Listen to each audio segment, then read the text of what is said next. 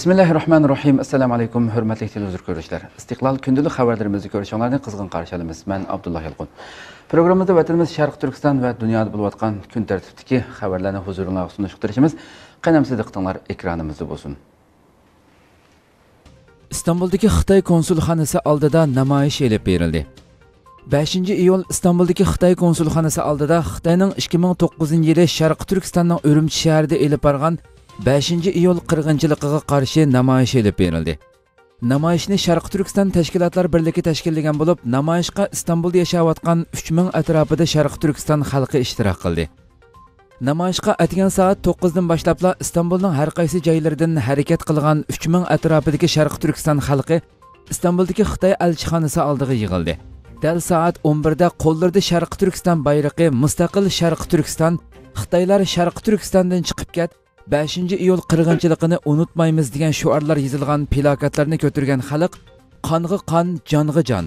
Mustaqil sharqi turkiston degan shuarlarni to'plab xitoy konsulxonasi oldiga yetib keldi.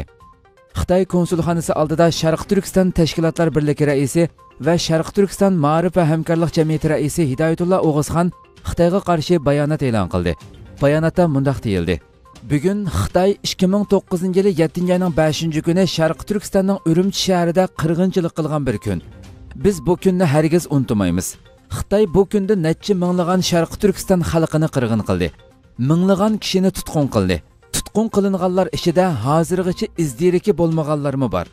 Xitoyning bu qirg'inchiligini hargiz to'xtatgani yo'q.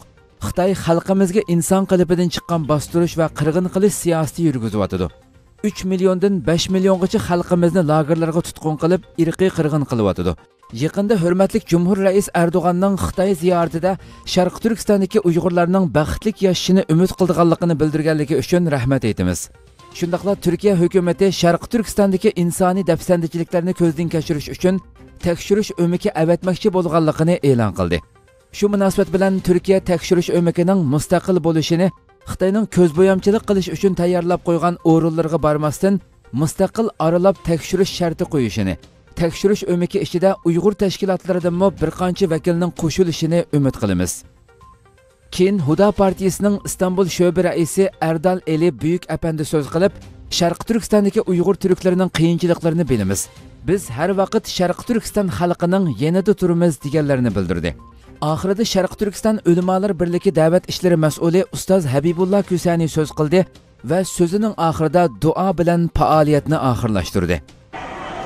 O'n yil burun haqqoniyat uchun shahid qilingan qorong'u zindonlarga etilgan mazlum qarindoshlarimizni xotirlab shularning ovozini erkin dunyoga yetkazish uchun mana bu yerda turibdi. Qarindoshlar mening birinchi deydigan gapim. Agar biz musulmon bo'lsak agar biz musulmon bo'lsak dinimiz bizga shundoq deydiki butun dunyodagi ulamolarimiz yuzda yuz ittifoq kelgan bir masala bor. Agar bir musulmonning zimini dini insonligi erkinligi dafsanda qilinsa butun musulmonlarga shu zulmga qarshi turish alloh iymon etgandan keyin ikkinchi farz bo'ldi qarindoshlarim va sharqi turkistonda o'n yil burun mush kunda shahid bo'lgan butun qarindoshlarimizning ruhini alloh subhanava taolo oxiratda shod aylasin va ularning maqomini yuksak qilsin ularning shahodatini qabul qilsin va ularning qinini to'kkan zolim kommunistlarni yer bilan yakson qilsin alloh subhanava taolo mazlumlarga nusrat ato qilsin va mazlumlarga yordam qildigan qarindoshlarimizni chiqarib olsin alloh subhanahu va taolo sharqi turkistonda ezilayotgan qorong'i zindonlarda nola faryod chekayotgan qarindoshlarimizning ovoziga ovoz qo'shadigan qarindoshlarimizni chiqarib olsin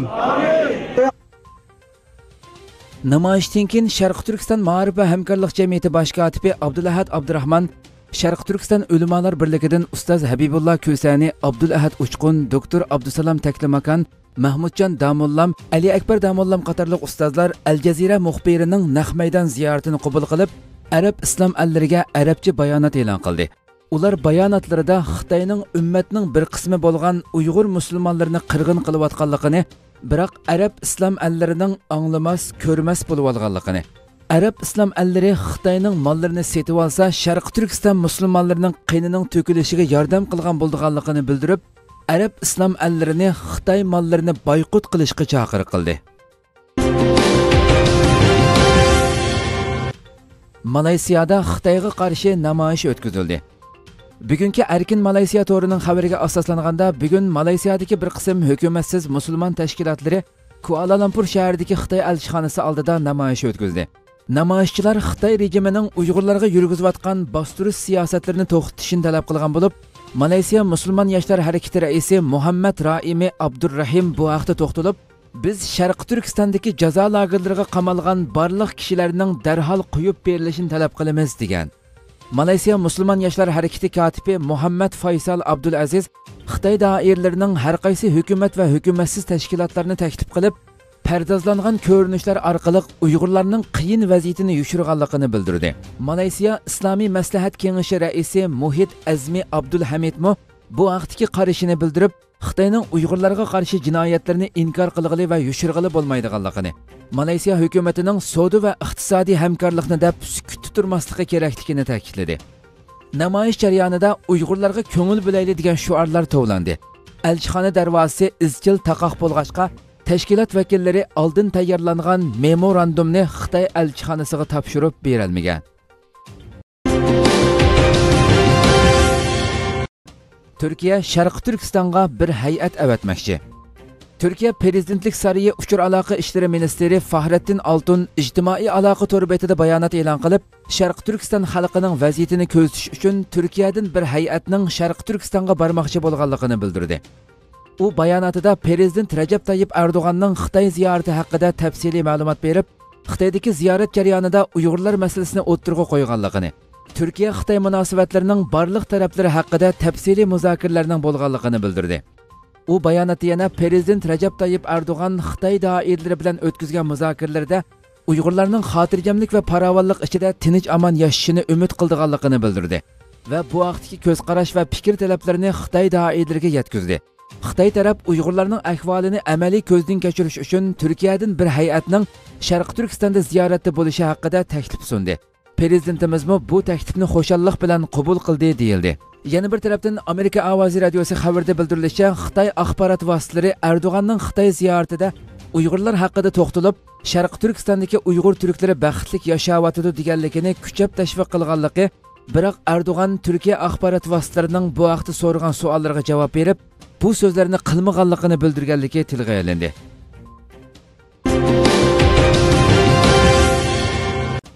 iyi partiyadan erdo'g'onga jiddiy noroziliklar yog'moqda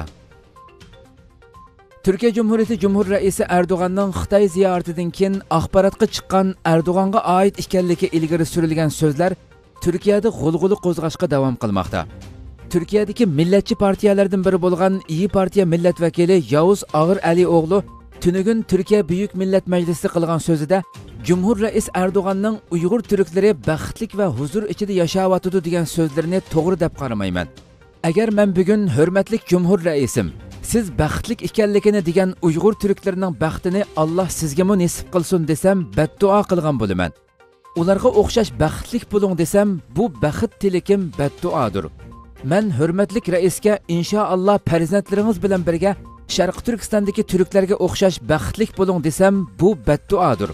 Man davlatning boshiga badduo qilishdan hazar aylayman. Chunki man bundoq desam tayyib ardug'an apandiga shundoq degan bo'laman. Sumayyani qo'lingizdan elib olsin. Navralaringizni sizdan tortib elib olsin farzandlaringizni jinidan to'yg'izsin. Diningizni yashig'ili qo'ymasin ibodat haqlaringizni qo'lingizdan olsin degan bo'laman. Man bundoq so'zni jumhur raisga so'zlashdan hazar aylayman. Cumhur rəisimiz mu həzər eylesin. Türkler u yerde bəxtlikdir deyişinin orniga Türk yurtida feryat peyğan erşi alağı yetti deyişiniz gerek. Şundaq deyişki məcbursiz. 35 milyon Türk u yerde dini, imani, uruk evlatları depsendi kılınıp durup mücadele berivatıdı diğerlerini bildirdi. Cumhurbaşkanımızın Çin'de 2000 yıllık Türk yurdudur. Sincan bölgesinde yaşayan Türklerle ilgili mutlu ve huzurlular cümlesini doğru bulmadım. Ben bugün sığınıyorum. Diyebilsem ki Sayın Cumhurbaşkanım Çin'de mutluluk mutlu olduklarına hüsnü şehadet ettiğiniz Türklerin mutluluğu size de nasip olsun desem bedduadır. Onlar kadar mutlu olursunuz inşallah desem mutluluk dileğim bedduadır. Ben Sayın Cumhurbaşkanı'na desem ki inşallah siz de Doğu Türkistan'daki Türkler kadar mutlu olursunuz evladı iyalinizle bedduadır. Ben devletin başına beddua etmekten imtina ediyorum. Çünkü böyle bir şey dersem Tayyip Bey'e şöyle demiş olacağım. Eğer siz de Doğu Türkistan'daki Türkler gibi mutlu olun dersem şöyle demiş olacağım. Sümeyye'yi alsınlar elinizden. Torunlarınızı kaçırsınlar sizden. Çocuklarınızın canına okusunlar. Dininize musallat olsunlar. İbadet haklarınızı gasp etsinler demiş olacağım. Ben böyle bir şey demiş olmaktan imtina ediyorum. Cumhurbaşkanımız da imtina etsin. Türkler orada mutludur demek yerine Türk yurdunda feryat ligan arş ala yıktı diyeceksiniz. Öyle demek zorundasınız. 35 milyon Türk orada dini imanı çoluğu çocuğu izzeti çiğnenerek mücadele ediyor. Biz vatan terk edecek insanlar değiliz. Vatan terk etmek Türk'ün tabiatına hiç uymuyor. Shundaqla iyi Partiya anqara millat vakili ibrohim Halil Oral apandimo majlisda so'z qilib, Xitoy axborotlarida chiqayotgan xabarlar hammamizni cho'nqur rohatsiz qildi. Hurmatli jumhur raisining qadim turk yurti sharqi Turkistonga Xitoy og'zi bilan Shinjong deyishi, u yerda zulm ostida ingrayotgan qarindoshlarimizni baxtlik yashayotidi deyishi qabul qilg'ili bo'lmaydigan ishdir. Buni na vijdonimiz, na turk tarixining bizga bergan mas'uliyat tuyg'usi asla qabul qilmaydi. Sharq Turkistonda agar rostilla irqdoshlarimiz huzur ichida yashayotgan bo'lsa, undaqda hammaylan Urumchiga ketib shu yerda yashayli. Ma'lum bo'lgandek, davlatimizda iqtisodiy kriz avjiga chiqayotganda, balki u yerda texmi rohatlanib qolarmiz. Agar bu bayonlar hurmatli jumhur raisga oid bo'lmay, Xitoy axborotlari har vaqtdagidek burmalab xabar qilgan bo'lsa, nemishqa hozirgacha jumhur raislik bayonotchisi yoki axborot ishxonasidan bir bayonot kelmaydi. Hurmatli Cumhur raisimizdanmi bu masala haqida aniq bir bayonot berishini kutamiz. Biz iyi partiya bo'lish sifatimiz bilan Sharq Turkiston masalasini ko'zlaymiz. U yerdagi kishilik huquq dafsandichiligini, Xitoy zulmlarini tilga ilishni davom qilamiz. Biz uchun al bayroq qandoq bo'lsa, ko'k bayroq shudur, Ankara qandoq bo'lsa, Urumchi shudur deganlarini bildirdi. Çin basınında yansıyan bir haber hepimizi derinden üzmüştür. Sayın Cumhurbaşkanı'nın kadim Türk yurdu Doğu Türkistan'a Çin ağzıyla Şincan demesi orada zulüm altında inim inleyen soydaşlarımızın refah içerisinde yaşadığını söylemesi kabul edilemezdir. Bunun ne vicdanımız ne Türk tarihinin bize verdiği sorumluluk duygusu asla onaylamayacaktır.